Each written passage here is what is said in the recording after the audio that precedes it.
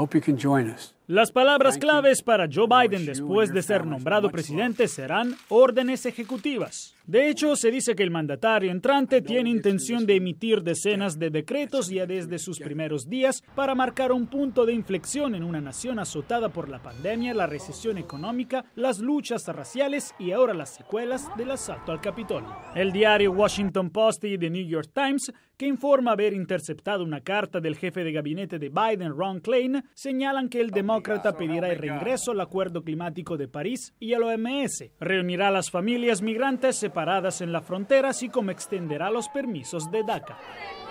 Entre otras acciones, eliminará las prohibiciones de viaje para varios países musulmanes y ordenará el uso obligatorio de mascarillas en todos los edificios federales. Sé que el tapabocas se ha convertido en un tema partidista, pero es un acto patriótico. Los expertos dicen que usar un tapabocas desde ahora hasta abril salvará más de 50.000 vidas. Para el próximo presidente, la prioridad será luchar contra el coronavirus.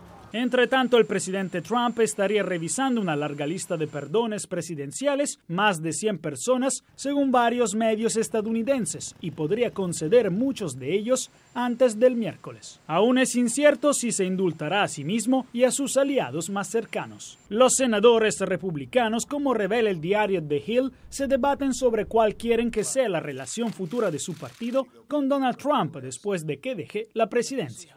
Jacopo Luzzi, Boss di America, Washington.